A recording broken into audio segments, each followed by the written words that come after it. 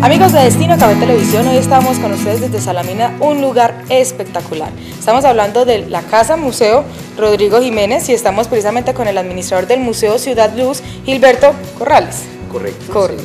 Bienvenido a Destino Café Televisión y contémosle a todos nuestros televidentes exactamente de qué se trata y de dónde nació la idea de hacer este museo acá en esta casa. Bueno, muy buenos días. Primero que todo, agradecimientos a Ángela por estar aquí visitándonos en este lindo municipio como lo es Salamina Caldas. Eh, sean ustedes todos bienvenidos. Eh, la idea de aquí, la Casa Rodrigo Jiménez Mejía, en vista de que últimamente hemos sido visitados turísticamente por muchas personas, tanto nacional como extranjeras, tuvimos la idea, mi socio Arcángel y mi persona, de crear este lindo museo para ustedes. ¿De qué se trata? El Museo Seda Luz tiene aproximadamente 500 artículos antiguos que desgraciadamente por culpa del vertiginoso avance de la tecnología han quedado en el olvido.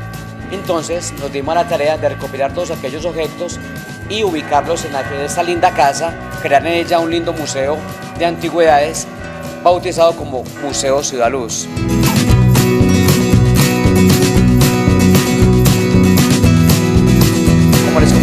tenemos aproximadamente 500 artículos que han sido recopilados de casa en casa, eh, algunos por donación y otros los hemos adquirido eh, por con dinero.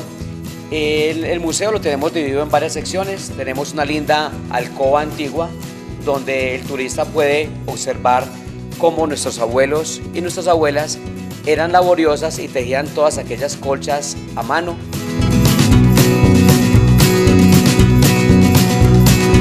aquí tenemos una linda alcoba de lo que ellos querían representar.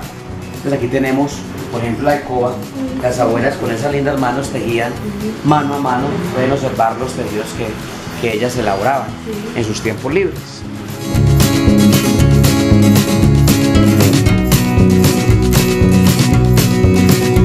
La segunda sección del museo es, una donde estamos acá podemos observar que es una sala múltiple donde podemos observar algunas tallas del maestro Liceo Tangarife con sus discípulos. El maestro Liceo Tangarife pues, uno, fue uno de los grandes constructores de esta linda mansión de la Casa Rodrigo Jiménez Mejía.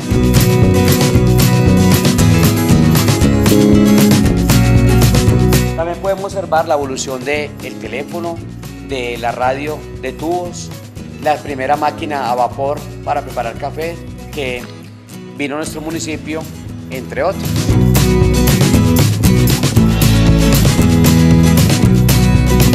Y la sala que nos falta es la sala musical. Allí también podemos observar la primera rocola que llegó a nuestro municipio, el primer fonógrafo, las famosas radiolas 3 en 1.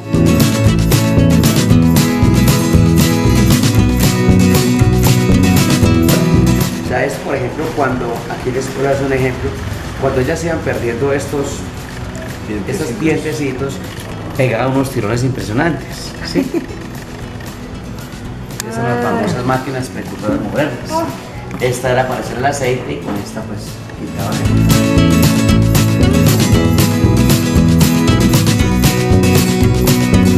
Bueno, la casa exactamente tiene 142 años de haber sido construida. Es una de las edificaciones más bellas que tiene nuestro municipio. Eh, la casa es construida en tapia y bareque. Pues la tapia, la parte de los cimientos están en, tapia, que es tierra pisada de un espesor de 60 centímetros por un metro de alto. Y la segunda planta de la casa está construida en bareque.